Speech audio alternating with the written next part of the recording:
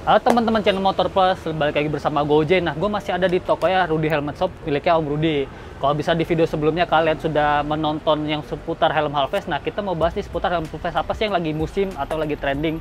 Nah, motor pilihannya apa aja? Tonton video ini sampai selesai.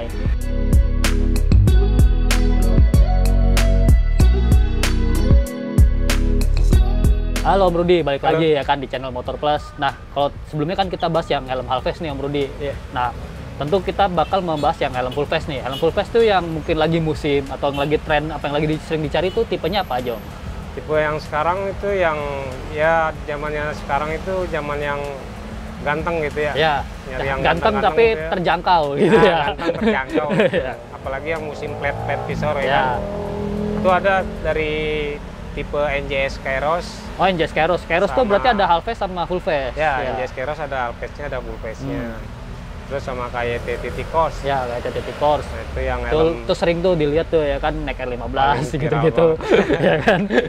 Terus mungkin merek lain ada nggak? NHK mungkin ada kayak Oh. RX9 juga udah flat visor sekarang ya. Hmm. Udah kayak R10 kayak TR10. Oke, yang T10 juga termurah. masih masih masih lumayan dicari ya. masih. Yang paling terjangkau udah- tuh kan udah R10. Ada flat visor yang kan. Hmm.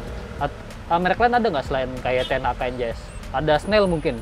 Oh ya ada Snell, Snell Hmm. helm yang lumayan kuat ya. Iya. Cuma emang nggak banyak orang tahu juga sih Snell ya.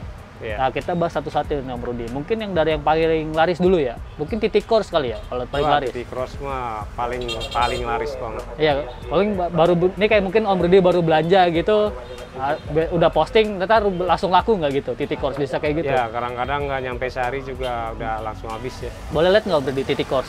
Oh iya. Nah, yang dekat aja nih mana? Ini, ini titik course, titik course ya kan? Ini- Ah di sini. Ini titik cross versi polosnya ya. Oh, oke. Titik cross banyak nih ada polos ada motif. Ini standarnya KYT tuh sarungnya bagus. TT bagus sarungnya. Nah ini deh. Oh, iya iya iya. Titik Helm course. viral. Helm viral. Kita lihat nih di sini be- be- berarti tuh 1450 plus 50 ya standar ya full face ya. Emang Ya, kalau kadang-kadang nggak sesuai sama ininya. iya. Kadang bisa Kiranya lebih berat tapi kalau dirasa menteng banget. Iya, lebih enteng sih harusnya nih kayaknya nggak nyampe 1450 ya harusnya. Cuma mungkin karena standarnya safety-nya segitu mungkin karena titik course nih kalau kita pegang nih Om Rudi, emang busanya tuh kayak helm premium ya. Iya, dia sangat lembut banget. Hmm. Sudah double Ah ring. ya, kalau pengunciannya dia sistemnya double D-ring nih teman-teman. Jadi kalau misalnya kalian mungkin demen nyentul gitu ya, demen track day, ini bisa nih cocok nih. Lebih safety juga gitu teman-teman. Tapi ini nggak disaranin buat trash loh. ya jangan. Ini track day ya. Tapi emang Ini bahannya beda, masih Iya. termoplastik. ya. iya masih termoplastik kalau mungkin yang di atasnya mungkin Yang kayak race kayak Ya, NX Race, GPR, ya. Tex. Yang race tuh ada. kalau titik course tuh dia udah flat visor tapi dia belum tapi dia nggak double visor ya? Ya, Apa ada dia variannya? Udah flat visor tapi nggak double. Oh, tapi emang nggak ada varian double visornya ya? Cuma satu aja. Ini udah bisa kacamata juga busanya. Oh iya benar. Bisa nyelip di sini nih teman-teman. Variasinya paling banyak ini. Oh iya, Visornya variasinya apa ada aja? warna-warni, Oh, kayak ada biru, red, sama dark smoke. dan emang kalau kayak gitu ini kayaknya emang ngedengerin nih permintaan dari anak-anak yang hobi modif ya kan ada Iya. spoilernya. Nah, ya, ya kan? Spoilernya juga ada. Iya. Karena kalau saya pakai KR1 gitu Om Rudi, dia kan polos aja gitu, bulat aja, nggak ada gini-giniannya gitu. Nah, spoilernya kayak gini. Oh, Ini mumpung ada besok. Oh, ini buat apa? Nah, Ini buat TT Kos Oh, dia buat tambahannya versi, lagi? Versi terbaru lagi bikin ya. Oh, Bulan besok lah kira-kira launching. oh gitu. Boleh tuh teman-teman kalau emang nanti nyari. Ini boleh saya coba ya, Om Ya, Rudi? coba aja. Karena saya penasaran juga busanya gitu. Busanya lembut banget. Ini ukurannya Size M. M. M dia selnya lebih kecil. Hmm. Oh, ini kalau pala saya yang L emang agak sempit gitu. Iya, tapi dalamnya enak. Iya. Tapi teman-teman kalau emang misalnya suka helm yang mungkin ngepres gitu ya, ya ini lebih ngepresnya tuh di pipi doang sih sebenarnya. Di atasnya tuh masih Oh, masih enggak. ada gap, masih ada ruangnya gitu, nggak terlalu nggak terlalu sempit lah begitu istilahnya. Kalau nyari sel kecil, dia pengen Hmm. sel selnya kecil, busanya L gitu. Hmm. Nah, bisa kita beli busanya aja gitu. Oh, jadi, jadi kita nyari bisa di- selnya kecil Hmm. aja, busanya L gitu. Oh iya, biasanya Cuma suka ada yang gitu ya. aja Biasanya suka ada yang kayak gitu ya. Iya. Mungkin kalau saya lihat emang ini tuh kayak lebih kecil daripada yang itu ya. Ini mungkin itu yang L ya. Iya kan? Nah. Soalnya dia kalau TT Cross ini ada dua sel. Hmm. SS sama M dia satu sel. Iya. Dan Dan ini L sama XL dia satu salju. Dan ini teman-teman yang kalau saya pakai juga kayak TKR1 yang Dove juga ya. Ya, Ini catnya udah lebih bagus teman-teman. Jadi kita pegang ini nih tangannya nggak nyeplak. Nah. Ya, kalau yang lama-lama tuh masih nyeplak. Nih Om Rudi, takut jatuh, takut takut kebeli juga. Nanti malah beli lagi. oh, full ganteng kalau dipasang. Oh, jadi lebih lebih panjang dan lebih lebih la- ya lebih panjang lah ya. Iya. Tapi ini belum belum dijual. Belum, ini lagi baru sampel. prototype ya. Nah, kalau misalnya mau tambah spoiler gini, emang ini mungkin belum Iya. dijual ya teman-teman. Tapi bahwa udah masuk bulan April atau Mei ini bisa udah dijual. Ini harga berapa nih? Kira-kira 130-an. Oh, 130 ribu. Dia Iya, ngikutin mahal lah ya. spoiler aslinya ya. Iya. Jadi kayak ada di bawahnya lagi gini. Ya, ini- Iya. Ini keren sih teman-teman dan nggak ngaruh ke safety juga gitu. Emang ini aksesoris aja sebetulnya. Nggak merusak dari struktur helmnya juga gitu. Jadi Oke. kelihatan lebih keker dia. Hmm. Oke lanjut mungkin ke merek lain nih Om Rudi yang lagi rame juga mungkin apa ya kayak TR10 ada kayak TR10 yang murah Ya. Oh ada versi murahnya ada Iya. karena TR10.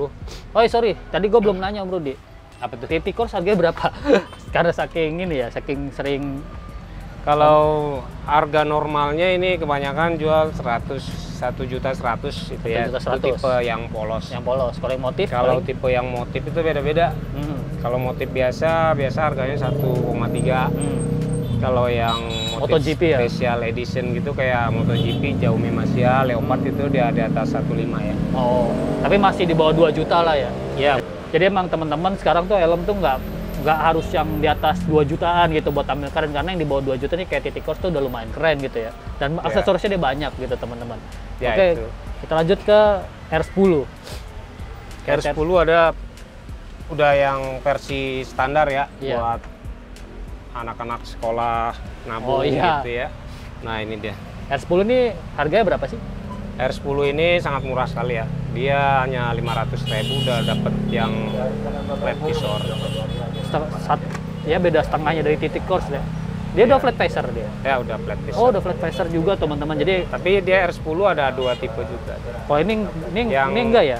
Yang motifnya nggak pakai double, yang motifnya nggak flat visor dia lebih murah lagi 450-an udah dapet. Oh, gitu. Variasinya juga sangat banyak. Ya karena ini juga helmnya mungkin murah ya entry level gitu. Berarti ini kunciannya masih yang biasa nih. Ya, Standar KYT. blok besi deh. Ya, yang helm klik lah gitu istilahnya. Kaget. Oke, kita coba nih helm KTR 10. Teman-teman ya kalau misalnya emang nyari helm full face yang masih murah gitu, kita bisa pilih ini R10. Busanya juga udah beda ya, main lama. Nah ini busanya dia rada keras tebel Hmm. kalau R10 ini Kita coba aja sih. ngepres. Oh iya, bener dari mau masuk aja udah ngepres ya di sini ini ya. L loh. Iya, padahal saya pakai helm L juga. Ah, mungkin kalau beli mungkin harus naik lagi sih XL Ya. karena emang lumayan ngepres gitu. biasa kita pakai L, dia harus Hmm. beli XL. Dia lebih enak nyaman. Hmm. Jadi teman-teman emang kalau misalnya mau beli R10 gitu, Fit deh. mending upsize lah satu size buat riding harian karena kalau ini harusnya kalau riding lama-lama gitu pusing sih Iya, pusing, pasti pusing. Pasti Sangat keras pusing. busanya. Iya, tapi ini dari cat udah udah Dove Udah juga, bagus dia, udah enak lah. Kalau tipenya banyak gitu. Ada Hmm. yang SE-nya juga. Ya ini lumayan Ya, enak R10. sih buat yang entry level lah. 500 ribu doang dapat helm full face gitu kan. Karena half face aja udah banyak yang 500 gitu kan. Iya, yang nggak bermerek aja Hmm. kadang-kadang udah lebih dari 500. Oke. Ini lumayan apa ya? Kaget sih maksudnya ngepresnya Om Rudi. Kita sekarang ke yang dekat-dekat dulu deh. Ke helm viral lagi nih teman-teman NJS ya. NJS Kairos tapi yang full face gitu. Bukan NJS Kairos namanya. Oh, ini sorry, NJS ZX. ZX1. ZX One, sorry sorry. Tipe Ah. yang double visor apa yang single? Nah, ini yang single ya yang baru keluar. Ini yang tipe R. Dan teman-teman kalau kita ZX beli One NJS ini emang dia sekarang gimmicknya boleh nih ada ada gantungan kunci, ada stiker Yang- segala macam Kalau ya. beli yang ini yang tipe R aja, ZX1 R. Oh, yang One, ZX Dapat R ya. gantungan kunci sama Stiker-stiker. bukan ini apa namanya? Oh. Buat lock EQRS. Oh iya, iya. Emergency Quick Release. Kasih gratis. Iya. Keren tapi ya. Ya ini yang tipe R, ZX1 R. Saya yang single visor. ya saya kayak baru baru-baru denger NJS tuh kayak baru aja gitu. Tapi oh, Ini baru launching kemarin. wah ini keren banget nih teman-teman. Ini harganya berapa Om Rudi? Ini harganya di atas 800-an. Gak nyampe sejuta tapi. nggak nyampe Tapi kalau warga seller, toko-toko Iya. kecil ya di atas seribu. Iya, ya buat menghidupi toko-toko lah teman-teman ya kan. Kalau dilihat, dia, dia nggak digrosir, yang bikin mahalnya dia nggak digrosir. ya tapi kalau saya lihat eh, apa ya desainnya tuh mirip-mirip apa ya AJC mungkin ya mirip ya. Di, di- di- dikit Iya. mirip. Miripnya sama titik kos. Oh, iya, malah malah mirip banget ya sebenarnya kalau dibilang mirip mirip titik kos no teman-teman. Ya cuma banget. beda di ventilasi ya bentuk-bentuknya ya. Ya ventilasinya modelnya beda, tapi sama-sama dua. Tapi harga ya ini bisa lebih murah sedikit gitu teman-teman. Dan ini juga udah double D-ring gitu ya teman-teman. The ring busa udah EQRS deh, Oh iya, emergency. emergency. Jadi kalau emang kita amit-amit ya Ada- kecelakaan, ya, crash ya kan, tarik. ini ditarik buat helmnya bisa lepasnya gampang gitu teman-teman. Yang tipe R ini udah flat visor juga deh. Oh, tapi ini single visor ya? Beda sama yang Hmm. ZX One biasa. Cobain ya Om, ini kayaknya busanya menurut Om Rudi enak apa biasa aja? Oh busanya lembut banget. Ini helmnya size apa nih? M ya? Size M. Oke. Oh, tapi M-nya malah longgar ya? Dia harus apa namanya pit apa Hmm. harus beli ke bawah misalnya kita Oh. maunya size L. L nih. Kita harus beli size M. Hmm. Karena Down gitu. Iya, karena gue yang pakai L biasa L gitu ya. Ini masih kayak masih longgar gitu. Ya makanya dia. Kayak masih ada gapnya tuh di, di pipi sama di atas gitu. Tapi ini teman-teman kalau emang misalnya kalian minatnya sama helm yang terjangkau banget ya, harganya nggak nyampe sejuta gitu, udah double D-ring, flat visor, desainnya keren. Ya ini boleh lah jadi pilihan. Dan Ya, ya, kalau misalnya size biasa pakai L dia pakai NJS-nya M. dan ya buat yang semua. kac- ya buat yang kacamata juga menurut dia. Sekarang Ya, tuh bisa. udah difasilitasi lah gitu buat yang kalian yang berkacamata. Ini ZX1R. Kalau yang itu sama apa beda? Itu ZX One yang Oh. pertama keluar. Oh, bedanya dia apa? Sebelum ini. Perbedaannya dia double visor. Oh, dia double visor. Yang ZX One-nya dia double visor, yang R dia udah nggak double visor lagi. Hmm. Oke, oke, kita lanjut aja nih. NJS nih harganya sejutaan tapi menarik sih teman-teman buat kalian emang yang lagi banyak duit habis habis THR, habis gajian Ya, ya kan. nanti kan mau Bel- lebaran. Beli ya, belilah helm ini. Kita lanjut mungkin ada helm mungkin nih menarik nih merek, merek Snail nih, Om. Snail mungkin enggak? Oh iya, ada Snail yang udah di upgrade jadi udah slot intercom juga ya. Hmm. Ini yang helm-helm viral ini yang lagi laku-laku ini udah slot intercom semua deh. Oh iya iya udah bisa iya. intercom. Jadi sekarang kan juga musim tuh ya kan Ya. pasang intercom ya kan dari yang murah ya, ratusan ribu sampai yang mahal-mahal. Oh ini sorry, ini emang visor bawaan apa Ya, modif? udah bawaan dari Oh bawaannya pabrik. udah iridium nih. Jadi kita kalau beli helm Snail ini udah dapat iridiumnya, tapi nggak dapat visor clear deh. Oh. Tapi Ini jual lah paling lah visornya ya. Ya, jual banyak. Ini tipe Snail FFS2. Ya. Ini teman-teman, ini harganya berapa? Ini harganya di angka 900-an. Ya, hampir sama lah. Saya tuh kira Sama persis. satu setengah gitu. Ternyata enggak ya. Harusnya di atas 1000 ya. iya. Nggak Maksudnya, ya kualitasnya sekarang tuh udah lumayan bagus lah. Coba. Ya, kalau ini udah ECE deh. Hmm. ECE deh. Oh iya udah ECE, standar Eropa. Dari Eropa punya. Kayak Nolan, Nah, Sony, itu. ini sama nih standarnya. Dan ya standar helm sekarang nih, Nah, spoiler 3D. spoiler. Spoiler langsung bawaan Tapi ini bisa dibongkar nggak? Ya, Ini ini kayak- pakai oh, baut. Bisa dibongkar ya. Sistem baut dia sama kayak AGP. Ini dia juga ada double D-ring. Ini lebih lebih aman lah kalau buat kalian track day segala macam. Nggak nyampe sejuta harganya.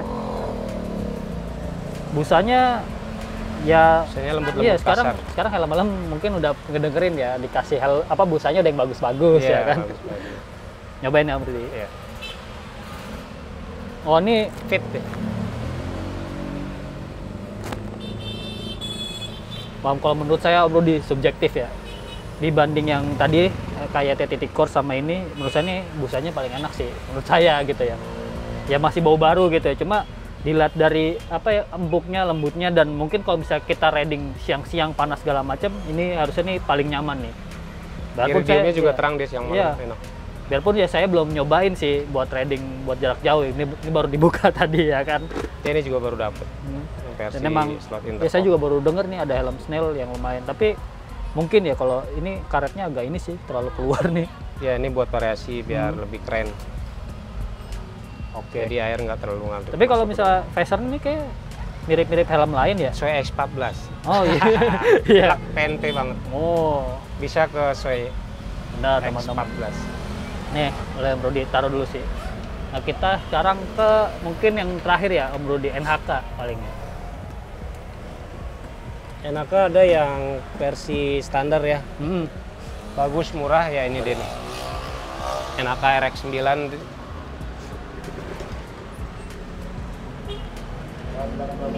Nah, ini Ya, ini yang special editionnya Yakub motif karel. Sorry, ya.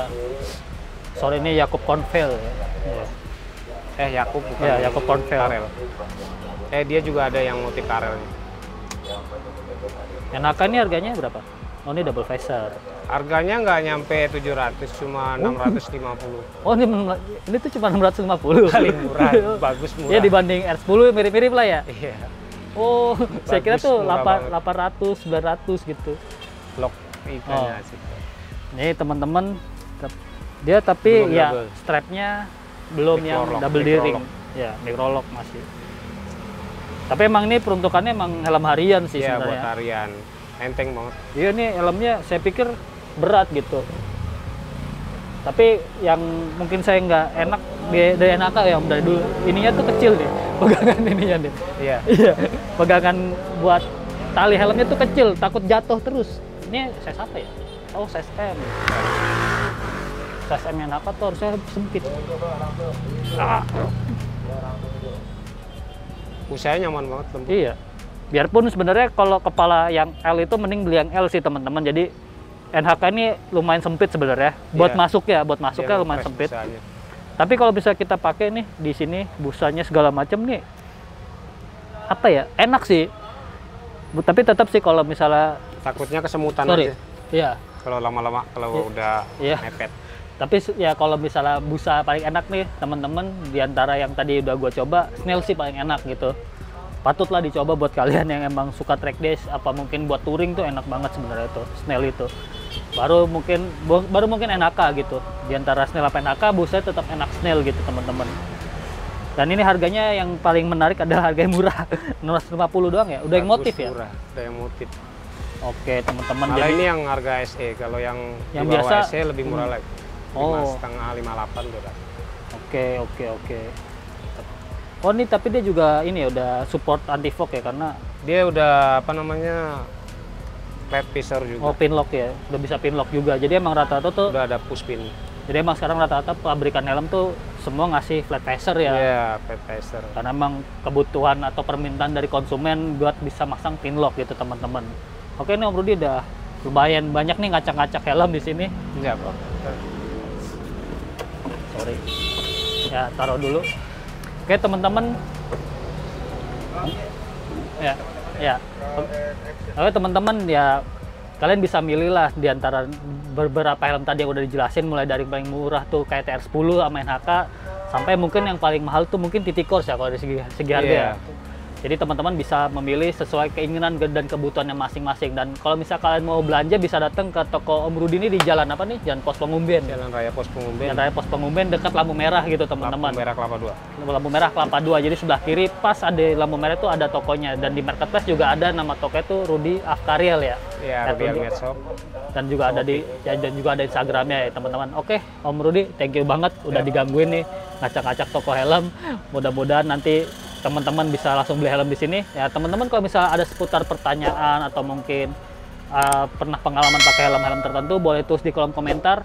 Sampai ketemu ke- di video-video selanjutnya. Thank you.